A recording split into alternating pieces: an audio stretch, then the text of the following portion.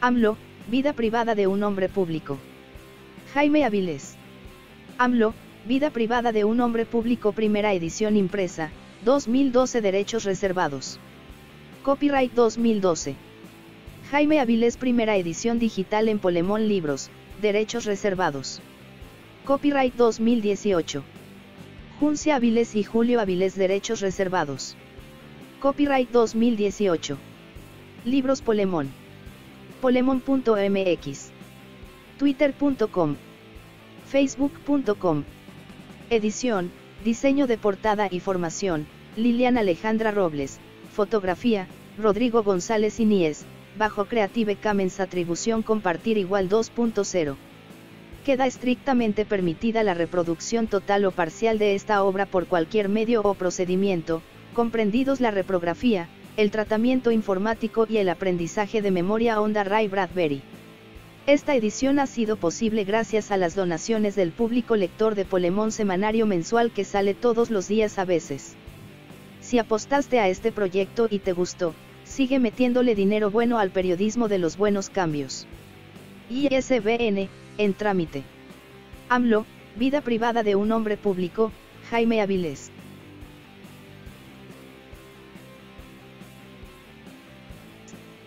Para Juncia y Julio, Jaime vive en sus sonrisas.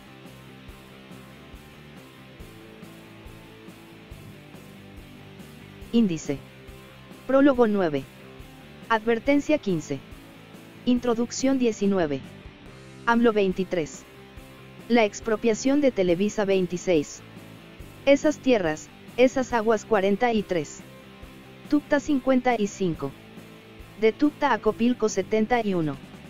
Del poder a la oposición 90. El segundo éxodo 107. Las empanadas de Rocío 143. El dolor social 173. El dolor del strike 174. Panistas, la otra cara del complot 189. El odio 202. Violetita 231.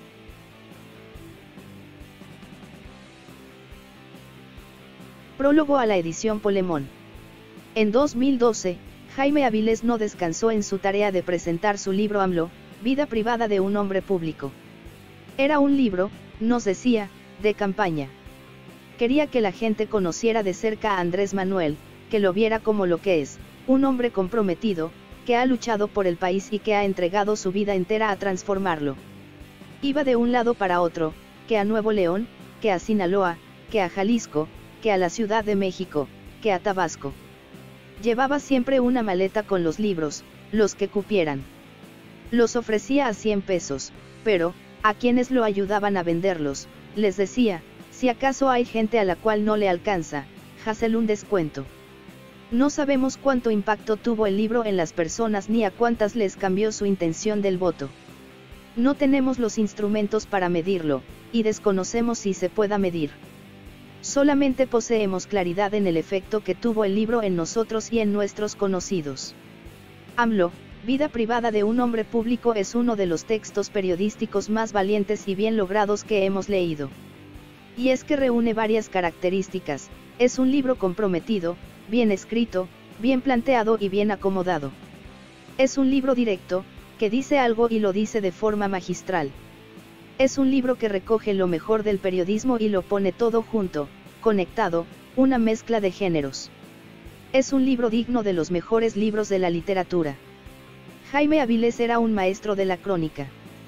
Por más que hemos leído a buenos y muy renombrados ejemplos del boom del periodismo narrativo latinoamericano, no encontramos a ninguno a la altura de los escritos de Jaime. Este libro que el lector tiene hoy en su pantalla, o en sus manos, si acaso adquirió la edición impresa, es uno de los mejores ejemplos de la pluma de Jaime. Y claro, de su forma de pensar, decir y narrar. Jaime cuenta sus historias propias y las va mezclando con la historia de México, la de las injusticias y de las desdichas del pueblo mexicano. Todo eso lo enlaza con la trayectoria de AMLO y lo narra en un mismo texto. Lo describe tan bien y tan fluidamente que uno no se entera que está aprendiendo de la historia de Jaime, de la historia de México, de la trayectoria de AMLO y de las historias de las injusticias y de las desdichas del pueblo mexicano. De verdad que, quien lea este documento, encontrará que Jaime fue un genio.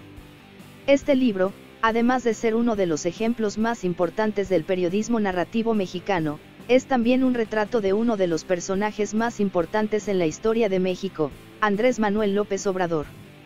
Pero no desde las fórmulas fáciles, de perfiles mal logrados, mal planteados, mal investigados y, o, desinformados. No, la historia que cuenta Jaime es la historia desde lo cercano y lo humano, desde la forma en cómo se fue conformando el liderazgo mexicano más importante de la segunda mitad del siglo XX, y seguramente de la primera mitad de la centuria XXI. Jaime Aviles retrata a Andrés Manuel de forma magistral. No hay, en la literatura periodística actual, y mucho menos en la académica, mejor fotografía de AMLO que la que él hizo. Y conforme pasa el tiempo, nos damos cuenta que no la habrá. ¿Por qué reeditar, ahora en Polemón, AMLO, vida privada de un hombre público? Jaime hizo este documento como un libro de campaña, pero le salió una obra maestra. Desgraciadamente, el libro ahora es inconseguible. Muchas veces nos han preguntado que dónde lo venden, y nos quedamos sin respuesta. Un día de principios de 2017, Jaime nos dijo, deberíamos actualizar vida privada. Nosotros, encantados y emocionados, le dijimos que sí, que lo apoyábamos. Él tenía esa intención, pero ya no pudo. El maldito cáncer. Desde Polemón, incapacitados para actualizarlo, decidimos poner en circulación de nueva cuenta el texto original escrito en 2012. Porque la obra, que es enormemente buena, se lo merece. Y porque, de nueva cuenta, Estamos viviendo una andanada de mentiras en contra de Andrés Manuel que hay que combatir con la verdad. Y Jaime supo plantear esa verdad, de forma inigualable, en esta obra. Va por ti, Jaime, va por Andrés Manuel, va por lo que representa, y va porque queremos que la esperanza no se nos muera con este PRI-PAN PRDMC que quiere robarse todo y dejarnos con nada. Con esta edición, además, queremos demostrar que, aunque Jaime ya no esté entre nosotros, sigue explicándonos el mundo. Y claro, sigue luchando por la transformación de este país. Y estamos convencidos que, esta batalla de 2018, aunque no esté físicamente presente, sí la ganará. César Huerta, Jorge Gómez Naredo.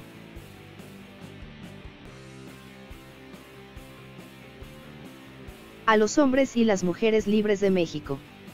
A la memoria de mi tatarabuelo, el general Viviano Dávalos, a quien Maximiliano rindió su espada en Querétaro. En recuerdo de Carlos Monsiváis, Carlos Montemayor, José Samarripa de la Peña, Rita Guerrero y Luis Javier Garrido. Y con mi agradecimiento a Carmen Lira, José María Pérez Gay, Guillermina Álvarez, Luis Guillermo Pérez, Jesús Ramírez Cuevas, Javier Sacur, Mariana Guerra y Nancy Zúñiga Murrieta. Y con perdón de Eduardo Galeano, por razones que sabrá disculpar.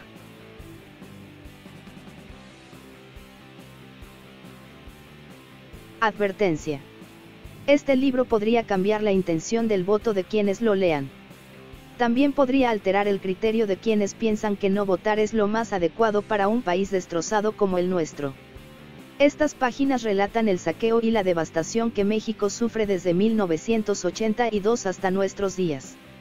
En forma paralela, ofrecen un retrato de Andrés Manuel López Obrador. Considero pertinente aclarar que las opiniones políticas no atribuidas expresamente a él, así como la interpretación de los hechos históricos que aquí se narran, son responsabilidad única y exclusiva del abajo firmante. Jaime Avilés.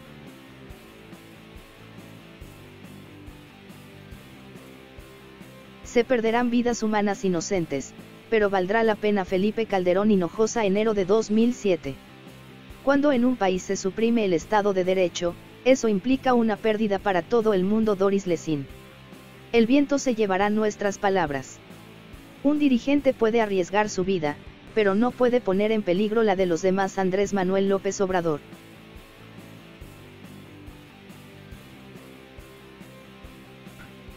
Introducción. México y el gobierno del mundo. El pacto. El gobierno del mundo llegó al poder en 1945. Los vencedores de Alemania se repartieron Europa. Estados Unidos, Inglaterra y Francia se quedaron con Europa Occidental. Europa Oriental fue anexada al Imperio Soviético, un territorio inmenso que llegó a extenderse desde Berlín hasta el estrecho de Bering y desde el Polo Norte hasta las fronteras de Irán y Afganistán. Al aplastar a Japón, Estados Unidos salvó a China de su peor enemigo. Cuando Hirohito se rindió ante la bomba atómica en 1945, China se desembarazó del dominio japonés y Mao tomó Pekín en 1949. Dos años antes, Gandhi había derrotado pacíficamente al Imperio Británico, que estaba exhausto después de batallar contra Hitler. En 1948, Estados Unidos implantó en Palestina el Estado de Israel. El gobierno del mundo mantuvo al mundo en un relativo equilibrio de 1945 a 1991. La sumisión de América Latina a Estados Unidos era parte de ese equilibrio y nunca estuvo a discusión. Fidel Castro no derrocó a Fulgencio Batista con apoyo de Moscú sino de Washington. Pero cuando proclamó la adhesión de Cuba al bloque soviético, la Casa Blanca se llevó la sorpresa de su historia y a punto estuvo de desatarse la guerra nuclear. Fuera de eso, los partidos y movimientos de izquierda de América Latina jamás recibieron ayuda del Kremlin para tomar el poder, la Unión Soviética siempre respetó el pacto que hizo con Estados Unidos en 1945. Por lo tanto, cuando la Unión Soviética se desintegró, en 1991, nada cambió en América Latina. Pero el nuevo gobierno del mundo se volvió más pequeño, más poderoso, más nocivo y más incompetente. Hoy por hoy, la Tierra tiene 7 mil millones de seres humanos. Gracias al gobierno del mundo, la mayor parte de la riqueza mundial está en manos de unos cuantos millones de millonarios. Al mismo tiempo, más de 2 mil millones de seres humanos no tienen asegurada siquiera una comida al día. Entre otras razones, porque su ingreso promedio es inferior a 2 dólares diarios. Los graves desequilibrios económicos, sociales, ecológicos y políticos que afligen a la humanidad, debido al fracaso del gobierno del mundo, son los mismos que atormentan a México. Los invasores. En 1521, naves de procedencia desconocida atracaron en la costa del Golfo de México y sus tripulantes declararon que a partir de ese momento toda la tierra que abarcaran con la vista pertenecía al rey de España y al Papa de Roma. Quienes los oyeron proferir tales disparates no comprendieron una sola palabra, pero supieron que les acontecerían terribles sucesos. Aquellos extranjeros desmantelaron las estructuras políticas de los pueblos que hallaron a su paso y las sustituyeron con las instituciones medievales de Europa. Tres siglos después, esas instituciones se convirtieron en un país sin pies ni cabeza, políticamente independiente del trono de España, pero económica y socialmente en la ruina, y todavía sometido al Papa. 50 años más tarde, un grupo de políticos e intelectuales, encabezados por un gran visionario como lo fue Benito Juárez, logró que México se independizara también política y económicamente de Roma. Y en 1867, esos intelectuales y su líder consolidaron un Estado nacional que, sin dejar de experimentar cambios muy profundos, prolongó su existencia durante 120 años. En 1982, otros hombres de procedencia desconocida se introdujeron en las arcas del Banco de México y proclamaron que desde ese momento todo el dinero que abarcaran con su vista pertenecía al Banco Mundial y al Fondo Monetario Internacional. Quienes los escucharon decir tales barbaridades tampoco entendieron una sola palabra, los recién llegados hablaban en tecnócrata, una lengua ajena por completo a la nuestra, pero adivinaron que con ellos las cosas no iban a terminar nada bien. Los nuevos invasores destruyeron las estructuras políticas, económicas y sociales del Estado Nacional Mexicano, vendieron sus principales riquezas y se hicieron muy ricos ellos mismos. Pero no edificaron nuevas instituciones.